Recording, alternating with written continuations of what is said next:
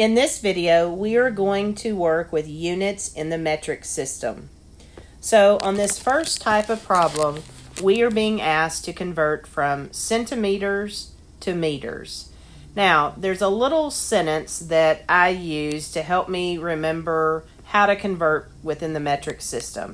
And so the sentence says this King Hector danced merrily down Central Main. So it's just a silly little sentence, but what it helps me remember is that these are going to be your kilo units, so kilometers, um, kilograms, kiloliters.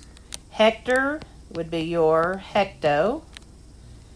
Danced would stand for your deca. Now, the middle, this stands for either your meter, your liter, or your gram, which are all your different metric units of measurement.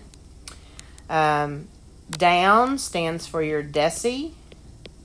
Central stands for your centi.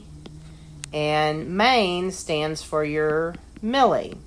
So in this particular example, we are being asked to go from centimeters, which would be here, to meters, which would be here. And so if you count how far and which direction you are moving, that tells you how to move your decimal. So my original number was 224.4. And I noticed that to go from centi to meters, I went two to the left. So I'll take my decimal, move it two to the left, and that gives you your correct place for your decimal in the other unit. So that would be the same as 2.244 meters. In this next example, we have a doctor recommends that a patient takes three 200 milligram chewable tablets of calcium each day. So notice three a day, that would be 600 milligrams a day. And so the first question says, How many milligrams of calcium will the patient take in a week? Well, there are seven days in a week. So 600 milligrams a day times seven days. And I would say that that patient takes 4,200 milligrams each week. Now they're asking me, how many grams will the patient take in a week? So now I'm going to have to convert milligrams to grams. So if I go back up to my chart, my milligrams are here. My grams would be in the middle. So notice I am moving one, two, three places to the left. So my decimals understood to be to the right of the zero here. And if I move it one, two, three places to the left, then that is the same as saying that this person takes 4.2 grams per week.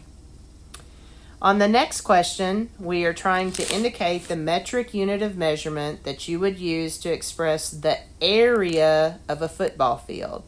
Now, you've got to keep in mind that if we're just measuring distance, we just have a regular unit such as a meter or a centimeter. Anytime we are measuring area, we end up having what we call square units because areas have two dimensions. If we were measuring volume, we would have cubic units because volumes have three dimensions th- length, width, and height. So in this case, we're measuring area. So that comes down to the fact that we have to have square units. And then we have to decide does it make more sense to say they are square kilometers or square meters? And so when we're comparing our uh, the metric system to our system, anytime you think about com- kilometers, you need to think about things you would measure in miles. Whereas if you think about meters, you need to think about anything that you would either measure in feet or yards. And as we know with a football field, it's typically measured in yards. So the answer that would best be used in this case would be our square meters. Okay, now we're being asked what the mass of a tea bag is, about how much in terms of our metric system. So think about this. When we have a gram, you can think about that being the weight of a paper clip. So it's pretty light. Whereas when we think about kilograms, we think in terms of pounds. And so 2.2 pounds is one kilogram. And then, of course, when you think of milligrams, those are teeny tiny. They're, you know, one, um, they're much smaller than a gram. And so I would think about something like not even the size of a grain of salt. Okay, so if we're talking about a tea bag, it definitely doesn't weigh pounds. It's certainly more than a grain of salt. So, probably the one that makes more sense here is the fact that it would weigh about four grams. Now, with this next problem, you do need the formula for converting from Fahrenheit into Celsius. And so that formula says my Celsius will equal to 5 over 9 times your Fahrenheit temperature minus 32 degrees. And so they have given me a Fahrenheit temperature of 47 so if I plug that in for F, then I'm going to go ahead and subtract 32. And so 47 minus 32 is going to leave me with 15. And then if I go ahead and multiply that out, 5 times 15 would give me 75. And then I divide by 9. And at that point, you can just punch it out on a calculator um, they tell me to round it to the nearest 10, so 75 divided by 9 leaves me with 8.3. So that would be the same as 8.3 degrees Celsius.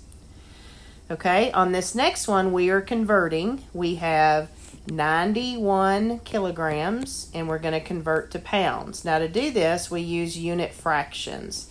And since we're starting with kilograms, in order to make those units cancel, you're going to have to put kilograms on the bottom of a fraction compared to pounds on the top. And so you'll notice in our table here, they give us that relationship. So we see that 0.45 kilograms is the same as one pound. And so notice what happens here with that particular unit fraction is your kilograms will cancel and your answer that you'll be left with is pounds. And then you just go ahead and you're going to multiply 91 times 1, and that gives you 91. And then you're going to divide it by 0.45. And again, just on a calculator, just dividing that out. So 91 divided by 0.45. And we're going to round it to the nearest hundredth, so that would be two decimal places. So 202.22 pounds. All right, and then finally, it says that for each kilogram of a person's weight, 2.5 milligrams of a drug is to be given. So they want to know what dosage should be given to a child who weighs 89 pounds. So we're going to have to first convey, convert that child's weight into kilograms. So if we have 89 pounds, your pounds this time have to go on bottom, your kilograms will have to go on top. And again, go, going back to this table, one pound would be the same as 0.45 kilograms. So notice in that particular case, the pounds would cancel, so you're left with kilograms. And then we're just going to get on a calculator and take 89 times the 0.45 and so we learned that this child weighs 40.05 kilograms. And the instructions said that for every kilogram, they are to be given 2.5 milligrams of a drug. So we're going to multiply that weight by 2.5 milligrams. So the total dosage in this case would be 100.13 milligrams.